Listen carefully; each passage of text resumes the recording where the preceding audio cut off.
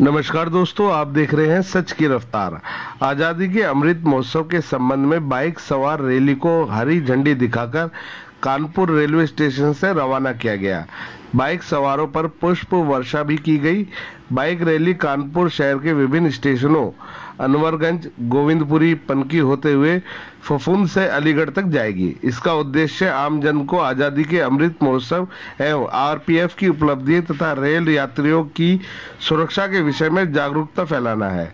इस दौरान सहायक सुरक्षा आयुक्त श्री अजय राय, निरीक्षक आरपीएफ बुद्धपाल सिंह, आरपी निरीक्षक रामकृष्ण द्विवेदी जीएमसी निरीक्षक सुरुचि शर्मा, अमित कुमार द्विवेदी, अखिलेश आदि मौजूद रहे।